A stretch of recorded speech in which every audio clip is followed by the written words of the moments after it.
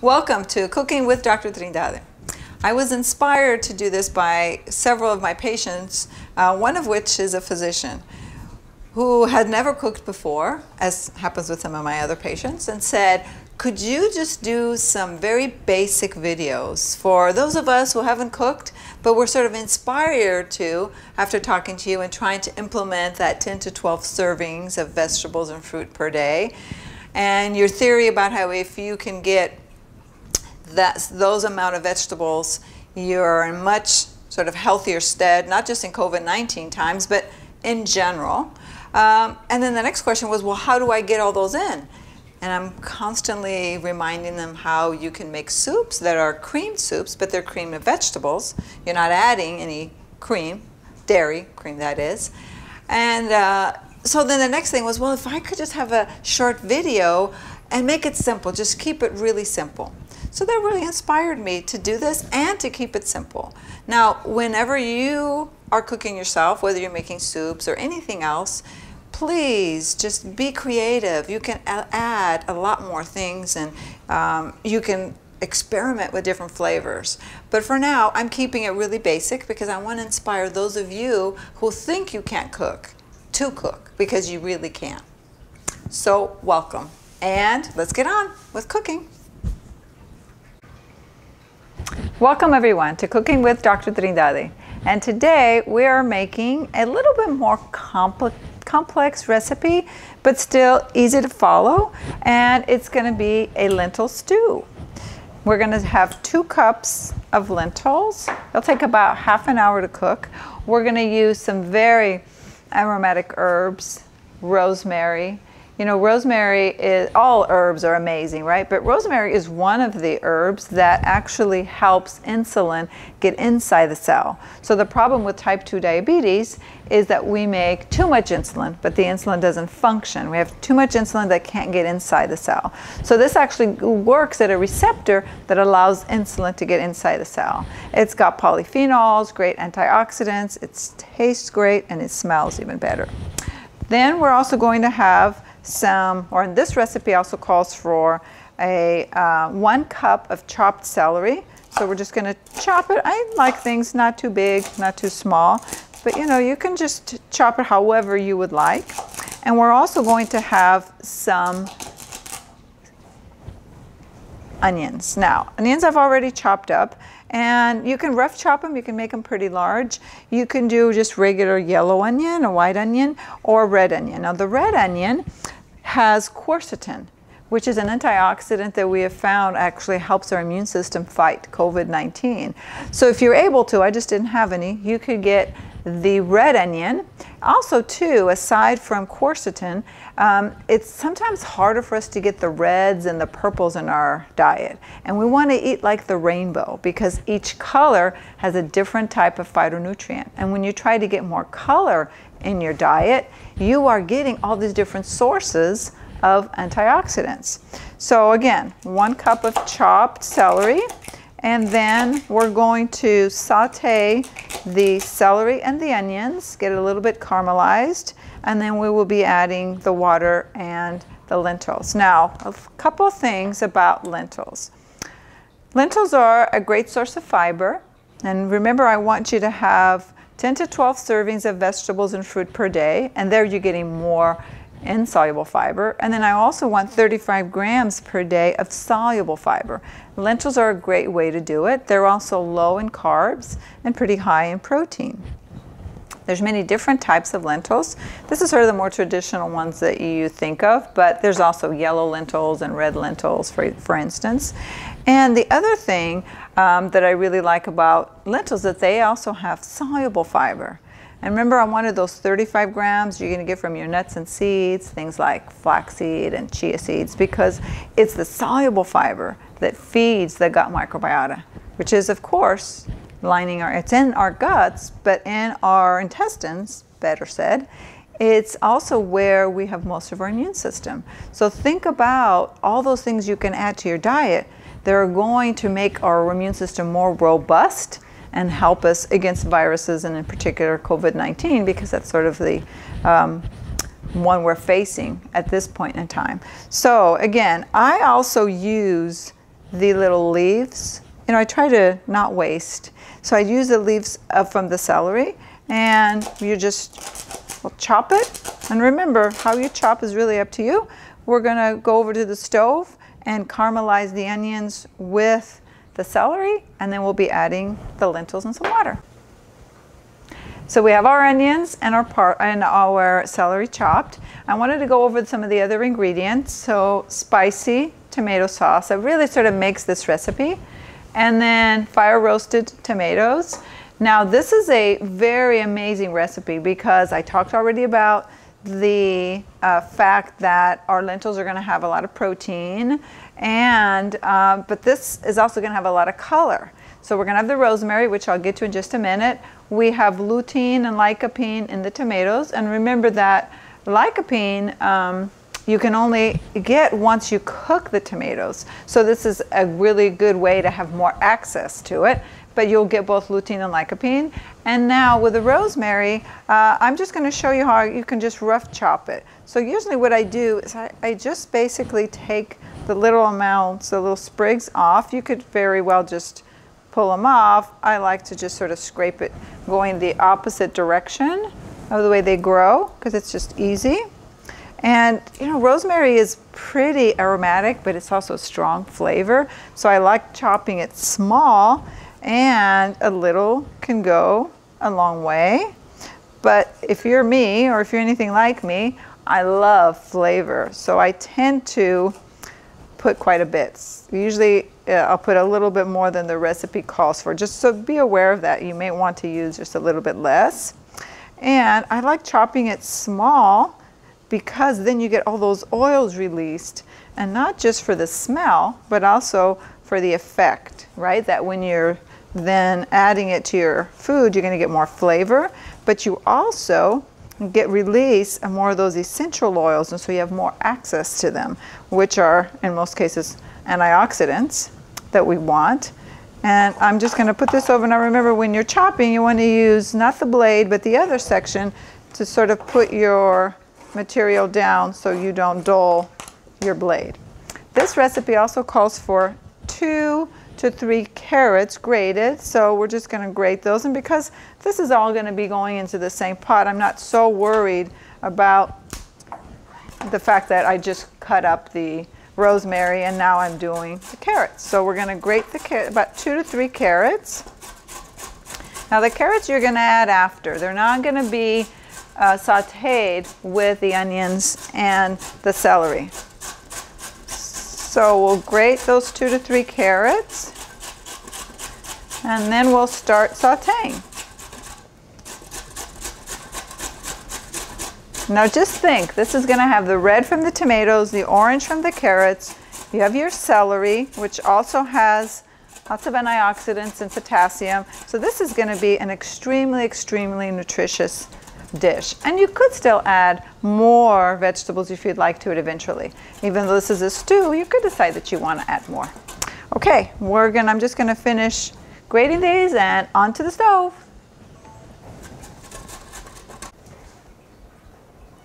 So continuing on with our lentil stew, now you could use um, coconut oil, for example. I'm gonna use ghee. Ghee is so good for helping repair your gut. And uh, who of us living in this toxic world don't have gut issues? So it's a half a cup, and I'm sort of eyeballing it. You could measure it out if you needed to, of ghee. We're going to let it melt, and then we're going to add the onions, and we're going to saute the onions and the celery, uh, as well as the rosemary. So I just like melting waste not. I don't like to waste anything, so I will let it melt slightly before I switch to using a wooden spoon.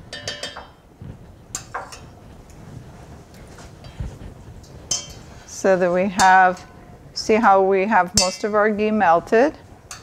You could add it everything at once, but I just like to have it already warm. I always think that if, whether you're boiling something or you're gonna saute something, if you have it sort of already either boiling or with the, um, in this case, already melted, it brings out more of the flavor. So here is our one teaspoon of chopped up wonderful smelling rosemary.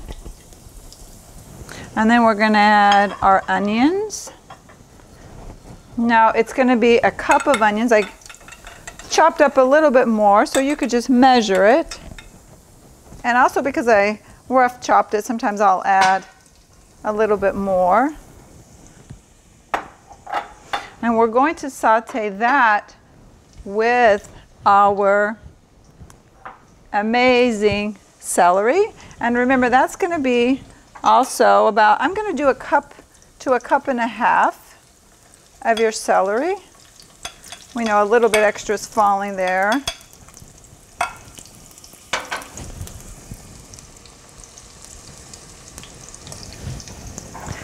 You know, baking, you have to be really precise.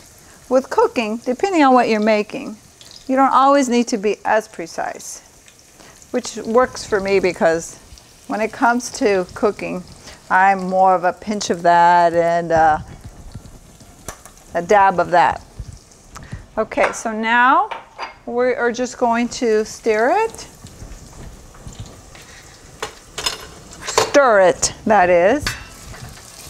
And we're going to actually let it get caramelized or a little bit um, golden.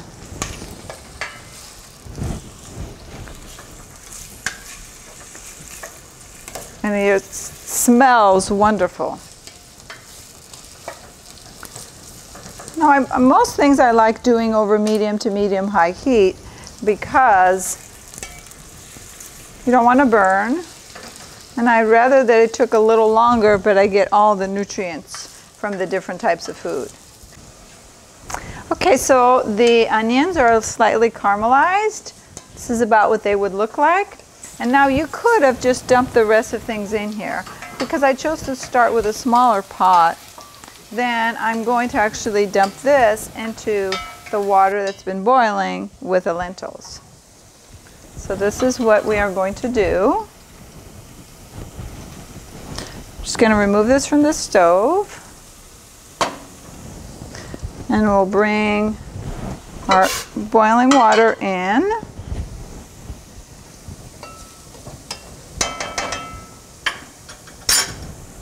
Now we're just going to dump this in.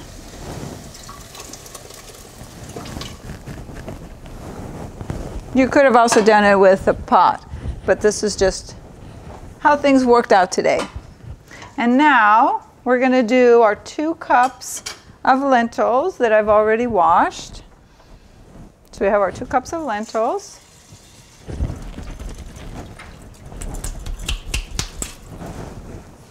And sometimes if there's too many lentils still stuck on the side, what I'll do is I'll just add a tiny bit of water to wash out the rest. But in this case, I don't think we're going to need it.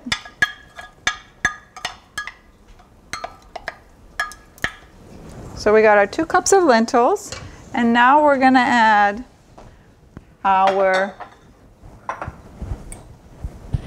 amazing looking celery.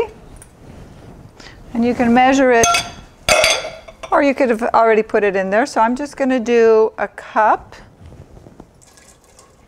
and a little bit of a, and a half, more or less.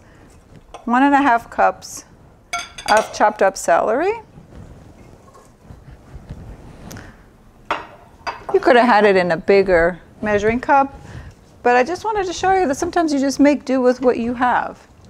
And then we're going to add our stewed tomatoes.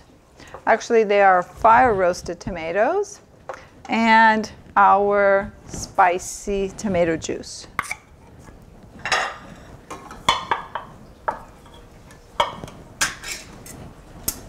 So that's two cans, and each of these is 14 and a half ounces, so about 28, 29 ounces. And can you just see that beautiful color? If you make your own, like if you had your own tomatoes, you could do stewed tomatoes, you could do fire roasted. The fire roasted gives you that little bit more of a smoky flavor. And remember, this is a stew, so you could choose if you'd like it thicker or a little bit more watery and you can just add more water to it. And then we're going to do the one can of our spicy tomato juice. Now, if you, you could do it without it being spicy, but it's the spiciness that really makes this, this stew. And then the rest will just be you letting it boil. And it boils for about a half an hour because you want the lentils nice and cooked. And of course, when you put the lid on, you just want to make sure that you're leaving it to breathe so that there's a little bit of um, space. So you're leaving it ajar so it doesn't boil over.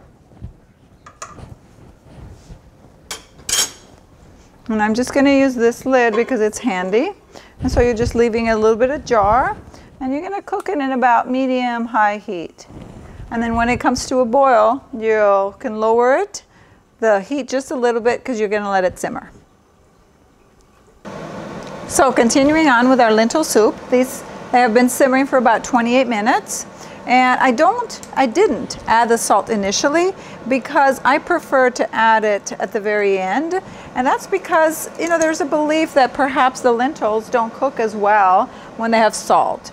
And, you know, there's some schools of thought that they do, but I prefer to add the salt in the, in the end. I added a half a teaspoon of Himalayan pink sea salt. And remember, when you're talking about salt, a lot of times you'll hear doctors say you don't salt your food or decrease your amount of salt. They're mostly talking about sodium chloride, so your table salt that is only salty due to sodium chloride. This or any sort of um, sea salt will be salty from the other minerals, not just the sodium chloride. So it's actually healthy and we need it to keep our adrenals healthy. So I ended up doing three carrots because they were kind of small and we're adding that and then we're only going to let it cook for an additional um, about two to three minutes just to get your, um, basically to get your carrots a little bit more tenderized. And just look at the goodness in this stew. You have the tomatoes, which are going to give you lycopene and lutein. You have the vitamin A or the beta carotene from the carrots. You have the protein from the lentils. You have potassium from them. You have the celery. You have the onions. And uh, remember, onions are very anti-inflammatory. They actually also help heal the gut. And we all, unfortunately, most of us are walking around with inflamed intestines because we live in a toxic world. You know, we've been exposed to lots of, pesti lots of pesticides, and we're constantly also being sort of uh, bombarded with a stress hormones, predominantly cortisol, which increases the permeability, makes you to have a leaky gut. So just think with one meal how far you're going. And then you're getting both your soluble fiber as well as your insoluble fiber. So I think I've been talking for about a minute, so we only have about another minute left. And I'm just gonna show you how it looks, the finished product. So here is our lentil stew. It is now finished. I'm just going to pour it in a bowl so you get a look at this goodness. Isn't that just amazing? And you can see it here in the pot. Now I chose to do two cups of lentils, but that's because I'm used to always um, making extra and then freezing it. I always freeze in a glass, so you could very well have cut down the recipe to half and just do one cup. The reason I like to do uh, larger recipes is because I'm always planning ahead. And this way, you have enough to eat and even invite a few people over, uh, or you can then also use the rest to freeze. And I like freezing it and uh, like the mason jars, for instance, just realize you have to leave a, about an inch on the top because what freezes, or when you freeze food, it expands. And you still get quite a bit of the nutritious uh, associated with a soup. Now, I like adding always a little bit of garnish, so I'm going to do just a little bit of cilantro and it's ready to go. Bon appetit. Enjoy. I really hope you enjoyed this episode of Cooking with Dr. Trindade. And just remember the importance of food and how food communicates with our DNA. And just like the, eating the wrong food can increase inflammation, eating the right foods can decrease inflammation and make our gut microbiome, our immune system healthier, more robust, more able to deal with all these foreign invaders. And don't forget about my rule of 10 to 12 servings of vegetables and fruit. And these soups go a long way to really showing you how you can incorporate that much, or so I should say that amount of uh, vegetables into your diet because when you're doing a creamed soup, just in that one serving, you're actually getting four to five servings of the vegetable because remember, it's half a cup cooked is equal to one serving or one cup raw, like a cup of arugula or a cup of lettuce or a cup of spinach that would be one serving, whereas half a cup of cooked asparagus or half a cup of cooked broccoli or Brussels sprouts, for instance, that is a serving. But when you're doing the base of your soup is a creamed soup, a creamed vegetable soup, you're getting four to five servings per meal because you're getting all that amount in the base or in the cream, plus you are adding, right? Whether we're adding cabbage or spinach or broccoli or cauliflower, you name it, you are adding to it. So it's easy. If in one meal you can get four to five servings, in your next meal you can get another four to five, and then you have one meal where you may be getting one or two. Maybe you're doing more of your fruits. So extremely, extremely important. And remember, we're getting both soluble and insoluble fiber. It's true that your soluble fiber is more your nuts and seeds, things like your flaxseed meal, for instance, or your chia seeds, but you're also getting some of that, like in the asparagus, for instance, or in your carrots. You know, you it's really important that we remember that it's the soluble fiber that really feeds our gut microbiota. So make it a great day. Please enjoy my recipes and thank you so much for your participation and for your information. You inspire me and I so, so appreciate that. My best to you.